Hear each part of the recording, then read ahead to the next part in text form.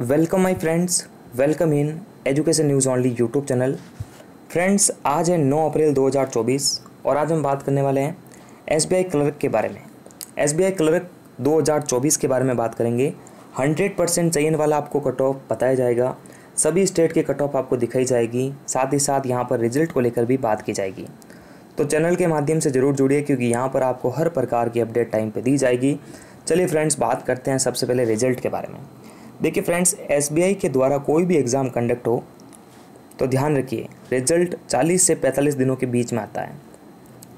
तो अभी तक 40-45 दिन बीते भी नहीं और आप रिज़ल्ट रिज़ल्ट कर रहे हैं। तो सिंपल सी बात है, अभी तक कोई रिज़ल्ट नहीं आने वाला है और देश में आचार संहिता लग चुकी है तो माहौल थोड़ा और ही ख़राब है।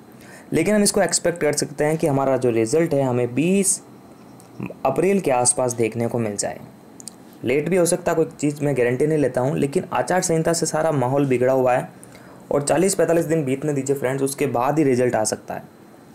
तो ये तो गई फ्रेंड्स रिज़ल्ट को लेकर सूचना, अब बात करते हैं कट ऑफ़ को लेकर।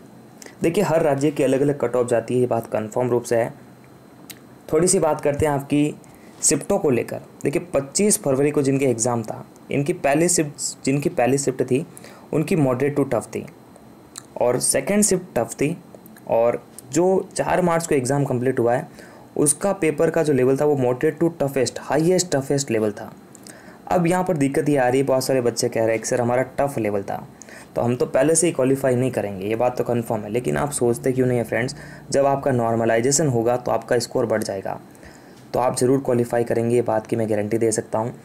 अब फ्रेंड्स अपन बात करते हैं कट ऑफ़ के बारे में। देखिए, जो कट ऑफ़ होती है, वो हमेशा नंबर ऑफ़ पोस्ट पे डिपेंड करती है अटेंडेंस पे डिपेंड करती है डिफ़िकल्टी के लेवल पे डिपेंड करती है। ये चार पाँच टॉपिक पे डिपेंड करती है अपनी जो कट ऑफ़ है। तो अपन स्टेट वाइज बात कर लेते हैं कट ऑफ़ कितनी जा सकती है। तो अगर आप उत्तराखंड से आ रहे हैं तो आपका स्कोर जो है सेवेंटी फोर के आसपास है तो आप कन्फर्म रूप से एक सीट ले लेंगे। असम का कट ऑफ़ सिक्सटी एट के आसपास जा सकता है, छत्तीसगढ़ का सेवेंटी थ्री के आसपास सिक्सटी नाइन पे गुजरात का जा सकता है। हरियाणा की बात करूँ तो 76 के आसपास जा सकता है और यही कट ऑफ़ हिमाचल प्रदेश का भी जा सकता है। जम्मू कश्मीर का 74 के आसपास कट ऑफ़ बन सकता है। कर्नाटका का 66 के आसपास 73 के आसपास एमपी का, महाराष्ट्र का 72 यूपी का 69 के आसपास, पंजाब का 73 एंड 74 पे राजस्थान का जा सकता है। तेलंगाना 70 के आसपास एंड वेस्ट बंगाल 75 के अराउंड कट ऑफ़ जाएगी। थैंक यू फ्रेंड्स और प्लीज़ मेरे सपोर्ट हो सकता है कि यहाँ से बहुत सारे बच्चे सेटिस्फाइड नहीं होते हैं। लेकिन फ्रेंड्स, ये चीज़ एक्सपेक्टेड है।